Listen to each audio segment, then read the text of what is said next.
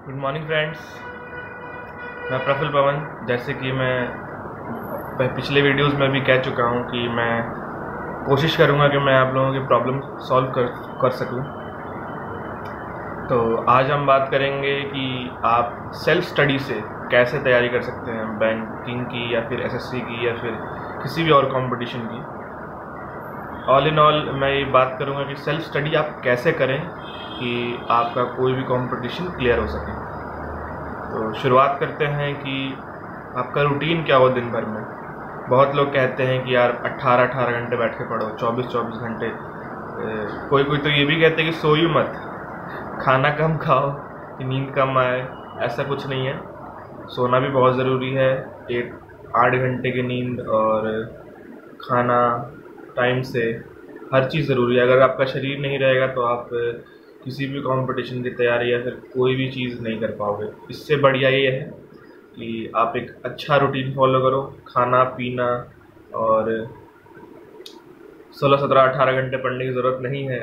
बहुत लोग कोचिंग में आप जाओगे तो बहुत लोग आपको कहेंगे कि सोलह घंटे नहीं पढ़ोगे तो कुछ हो ही, होगा ही नहीं, फिर कोई चांस ही नहीं है। अगर सोलह सत्रह घंटे आप नहीं पढ़ रहे हो तो उस क्लास से निकल जाओ। सोलह सत्रह घंटे नहीं पढ़ रहे तो क्लास से निकल जाओ। ऐसा ऐसा कर, कुछ नहीं है। बस आपको ये करना है कि आप जो कर रहे हो, उसको रेगुलर करना है। एक दिन छोड़ना नहीं है, एक दिन स्किप नहीं करना है। जो आपका रूटीन बनाया है आपने, उसको रेगुलर फॉलो करना है। तो शुरुआत करते हैं कि आप शुरू कहाँ से करें। सबसे पहले आप अपने कॉन्सेप्ट्स क्लियर करें। आपको जिस चीज़ में भी दिक्कत आ रही है, जैसे कि मैथ्स में दिक्कत आ रही है रीजनिंग में दिक्कत आ रही है इंग्लिश में दिक्कत आ रही है तो उसके जो बेसिक कॉन्सेप्ट हैं, वो क्लियर करें। कोचिंग अगर आप कोचिंग करना चाहते हैं तो आप कोचिंग में क्लियर करें। लेकिन यहाँ मैं बात कर रहा हूँ इस वीडियो में सेल्फ स्टडी की तो आप खुद से कैसे क्लियर करें, इसमें मैं बात करूँगा। आप कोई बुक फॉलो कर सकते हैं, लेकिन ज़्यादा ज़्यादा बुक फॉलो करने पे आपको कन्फ्यूज़न होगा तो आप कोई भी एक बुक फॉलो करें। या तो आर एस अग्रवाल या फिर कोई मैगज़ीन या तो फिर कोई ऑनलाइन बुक या फिर कोई ऑनलाइन पैकेजेस आते हैं, वो फॉलो करें। कॉन्सेप्ट क्लियर करें, या फिर अपनी खुद की टेंथ या ट्वेल्थ की बुक उठाएँ और वो लगाएँ। उससे आपके कॉन्सेप्ट क्लियर होंगे। क्लास एट से लेके क्लास ट्वेल्थ तक की अगर आपके पास किताबें हैं तो उससे आप पढ़ सकते हैं, क्योंकि मैथ्स में मैथमेटिक्स में हमेशा उन्हीं सब किताबों में से आप क्वेश्चंस आते हैं बेसिक क्वेश्चंस आते हैं। और रीजनिंग की जहाँ तक बात है तो रीजनिंग के लिए आपको कोई एक अच्छी पब्लिशर की बुक लेनी होगी, या फिर आप खुद से अगर रीजनिंग करना चाहते हैं तो ऑनलाइन वेबसाइट्स बहुत सारे ऐसे हैं जहाँ पे आपको रीजनिंग के सारे मटेरियल्स मिल जाएँगे। थोड़ा मेहनत करना पड़ेगा, क्योंकि सेल्फ स्टडी है। सेल्फ स्टडी का मतलब ही होता है कि आपको मेहनत करनी पड़ेगी। अगर आप मेहनत नहीं करोगे तो फिर सेल्फ स्टडी का कोई काम ही नहीं है। उसके बाद उसके बाद आता है इंग्लिश का सवाल। जहाँ तक इंग्लिश का सवाल है, आप विद माय एक्सपीरियंस मैं ये बता रहा हूँ, आप न्यूज़पेपर पढ़ सकते हैं नॉवेल्स पढ़ सकते हैं, और रोज एडिटोरियल्स पढ़ सकते हैं हर न्यूज़पेपर में। हाँ टाइम्स ऑफ़ इंडिया का टाइम्स ऑफ़ इंडिया से शुरू करना और द हिंदू तक जाना। अगर टाइम्स ऑफ़ इंडिया नहीं पढ़ रहे हो तो द हिंदू पढ़ने की, पढ़, आप उसके लैंग्वेजेस लैंग्वेज इतना हार्ड होता है कि आप उसको समझ ही नहीं पाओगे।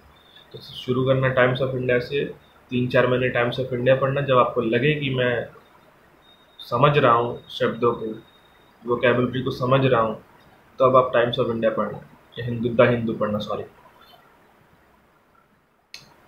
और रेगुलर कम से कम दस या पंद्रह वो कैप्स आपको याद करने पड़ेंगे। अगर आप दस या पंद्रह वो कैप्स नहीं याद करोगे तो आप जो रीजनिंग जो इंग्लिश में पैसेजेस में क्वेश्चंस आते हैं, वो कैप्स के, वो नहीं कर पाओगे। हाँ। आप अगर ये सोच रहे हो कि सेल्फ स्टडी से आपका सिक्स मंथ्स में आपके कोई सा भी कंपटीशन क्लियर हो जाएगा तो ये सरासर झूठ बात है। किसी भी, कोई भी कंपटीशन सेल्फ स्टडी से सिक्स मंथ्स में क्लियर नहीं होना।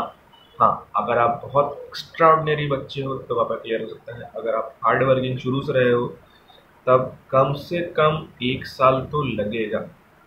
अगर आपको कोई भ्रम में रख रहा है कि नहीं छः महीने में हो जाएगा, यार तेरा, ऐसा नहीं होता। छः महीने में सेल्फ स्टडी से सिक्स मंथ्स में होने की संभावनाएँ बहुत कम है। मैं किसी को डिमोरलाइज नहीं कर रहा।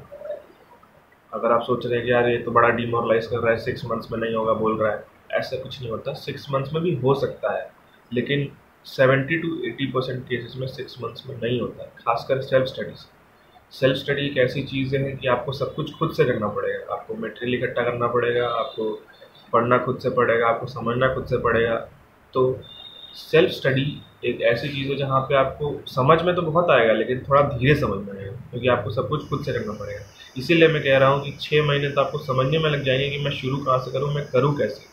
उसके बाद अगले छः महीने में आपका रिज़ल्ट आपको सामने होगा। इन सब चीज़ों को करने के बाद सबसे ज़रूरी है मॉक टेस्ट लगाने। मॉक टेस्ट के लिए आप किसी भी ऑनलाइन वेबसाइट जैसे बैंकर्स अड्डा या फिर और कोई वेबसाइट अड्डा ट्वेंटी फोर सेवन इन सब बहुत सारे कोचिंग इंस्टीट्यूशंस अपना खुद का एक यूज़र आईडी पासवर्ड प्रोवाइड करते हैं और फ्री ऑफ़ कॉस्ट जो उनकी जो फ़ीस होती है उसमें इंक्लूडेड होता है वो मॉक टेस्ट का पूरा online series web series test series तो आप उसको लगा सकते हैं या फिर आप ऑनलाइन परचेज भी कर सकते हैं। हाँ ज़्यादा परचेज मत करना, मुश्किल से अगर आप छः महीने पढ़ रहे हो तो छः महीने में कम से कम वन एटी डेज़ होते हैं one eighty days one eighty days के वन एटी डेज़ आप कम से कम लगाओ। मॉक टेस्ट एक सौ अस्सी मॉक टेस्ट भी लगाते हो तो आपको पता चलेगा कि आप कहाँ फंस रहे हो। और जहाँ फंस रहे हो, उसको फिर से क्लियर करो, फिर मॉक टेस्ट लगाओ। आधे अधूरा पढ़ के मॉक टेस्ट नहीं लगाना है। अगर आप एक घंटे मॉक टेस्ट लगा रहे हो तो कम से कम उसको दो घंटे बैठ के एनालाइज करो कि कहाँ कहाँ गलतियाँ हुई हैं और कहाँ गलतियाँ सिली मिस्टेक्स कहाँ हुई हैं, कहाँ गलतियाँ हुई हैं और उन गलतियों को सही करने की कोशिश करो। तो ये था मेरा वीडियो सेल्फ स्टडी आप कैसे करें कंपटीशन कैसे क्लियर करें। और लास्टली अगर आ, मैं ये बात करना चाहूँगा कि आपका अगर प्री क्लियर हो गया है तो आप मेंस की तैयारी कैसे करें ये अगले वीडियो में बताऊँगा। धन्यवाद।